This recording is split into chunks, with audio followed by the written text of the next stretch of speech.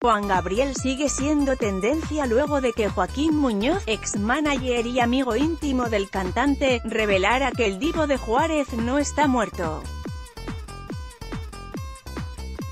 En un inicio el ex-manager dijo que Juan Gabriel reaparecería el 15 de diciembre, pero sus fans se quedaron esperando, pues no fue así. Ante esta situación, Joaquín Muñoz dio una nueva fecha para la resurrección de Juan Gabriel por lo que si algunos le habían dado el beneficio de la duda, después lo tacharon de charlatán. Sin embargo, el ex-manager está tan convencido de lo que dice que aceptó ir al programa hoy para someterse al polígrafo.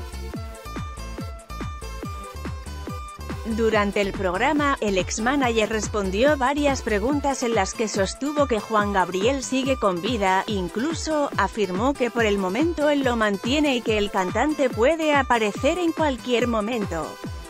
Los ánimos cambiaron cuando Marta Figueroa le hizo una pregunta que al parecer incomodó al ex-manager de Juan Gabriel. La periodista lo cuestionó sobre su relación con el divo de Juárez y le dijo que si era cierto que fue su amante. Tras la pregunta, Joaquín Muñoz se aceleró y pidió que le quitaran los cables que tenía conectados para abandonar la entrevista, pues al parecer se sintió humillado o ofendido.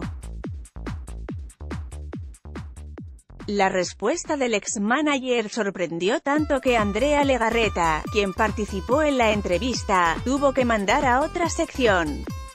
A pesar de la sorpresiva reacción, algunos internautas aún creen que se trata de una farsa.